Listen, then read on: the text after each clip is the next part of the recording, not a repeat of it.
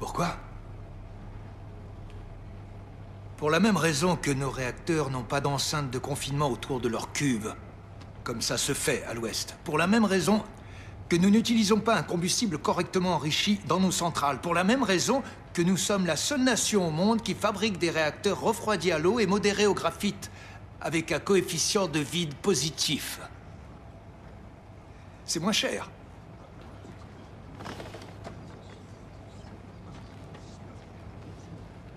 Ce qui est entré en premier dans le cœur, ce sont les extrémités en graphite. Et quand elles l'ont fait, la réaction dans le cœur s'est accrue de manière exponentielle.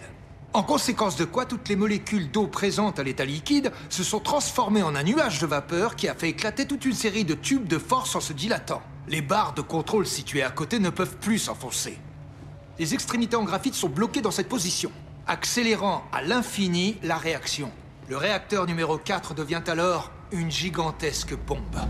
1h23 et 42 secondes. Perevostchenko regarde en bas l'énorme couvercle d'acier du réacteur et voit alors l'impossible. Les bouchons de sécurité des tubes de force et des barres de contrôle qui pèsent 350 kg chacun font des bonds.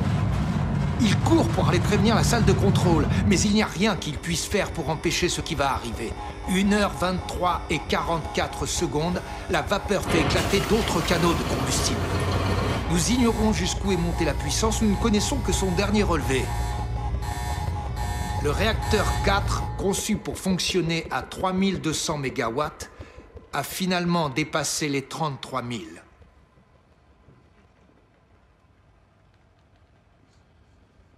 La pression dans le cœur ne peut plus être contenue. Et là, nous arrivons enfin à 1h23 et 45 secondes, au moment de l'explosion.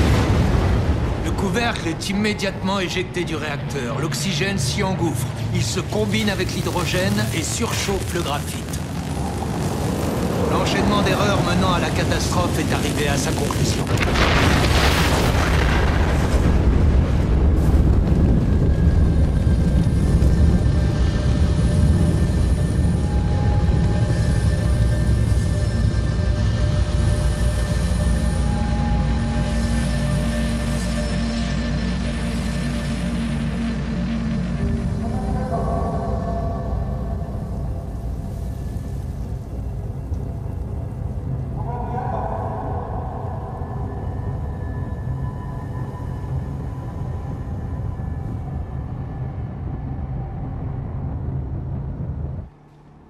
Cette nuit-là, personne dans la salle de contrôle ne savait que le bouton d'arrêt d'urgence pouvait être en réalité un détonateur.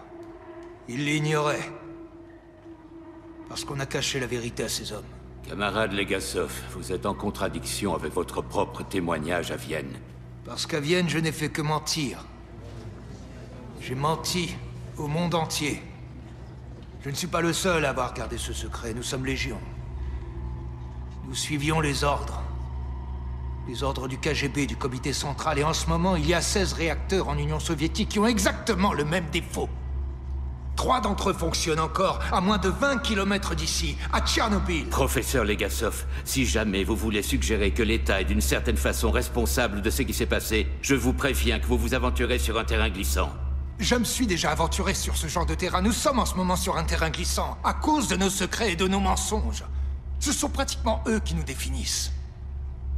Quand la vérité nous dérange, nous, nous mentons tant de fois que nous finissons par en oublier qu'elle est là, mais elle est toujours là.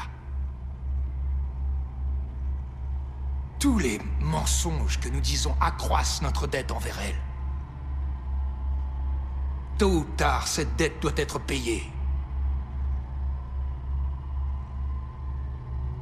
Voilà ce qui a fait exploser le cœur d'un réacteur RBMK.